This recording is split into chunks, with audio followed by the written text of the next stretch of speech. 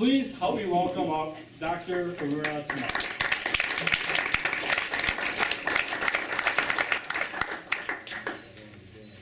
Thank you, Lucas. Thank you, Wellness Fair um, organizers.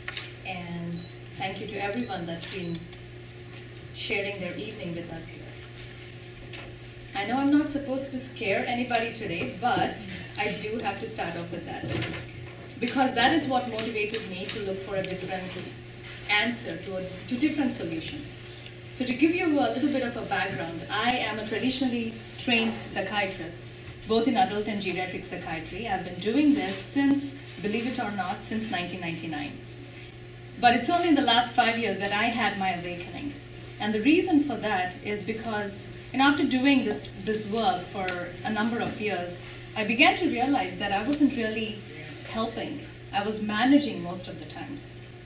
And, and as Lucas just mentioned, that when you have that intention and when you're looking for different answers, the universe did open up with some answers to the questions that I was having. And I uh, came across some really interesting people who had these questions maybe 30 years, 40 years ago, and have looked into different modalities, different uh, ways of helping people that are struggling with mental illness. So the scary part, these are the latest statistics that I came across. The number one thing that that actually was, I think it's laughable, if, if not scary, is that 50% uh, of US adults will experience mental illness during their lifetime. So half of the people in this room are supposed to be having symptoms of mental illness. I don't buy that because mental illness is overdiagnosed. I think we have come to a situation in, in time where a normal range of emotional experiences, whether it is in children or with adults, we are too quick to pathologize it and too quick to uh, label it, diagnose it, and want to give a pill. Um, the other thing that really uh, shook me is that in 1975, autism and autism spectrum illnesses were being diagnosed at a rate of 1 in 5,000. But today, it is 1 in 68 if you combine both boys and girls, and 1 in 42 if you just look at boys. So why is this happening? It's not just increased diagnosis, as many psychiatrists like to think. It is because a lot of things have changed. Mm. We are living in an increasingly toxic environment.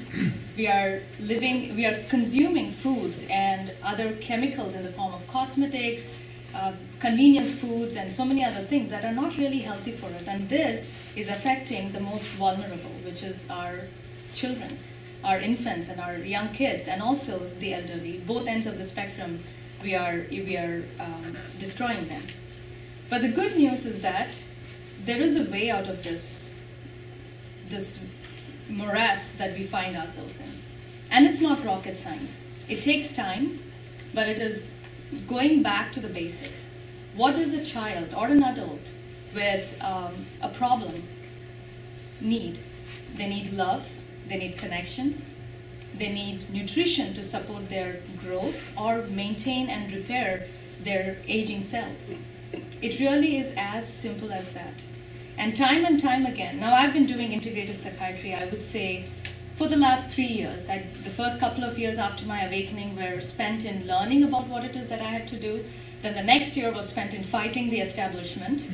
Realized that that wasn't, I wasn't gonna be able to change the system from within. So last year I walked out, took that leap of faith that our Mr. Nightlight just talked about. And yes, the universe does open up gave me incredible opportunities, gave me in, came, brought me into contact with people like like yourselves, and I haven't looked back. My um, job satisfaction has gone up, and I um, and I feel really good about being not just a psychiatrist but a healer as well. So simple rules, going back to the basics, and there is a way for people to find stability, mental and physical. Thank you.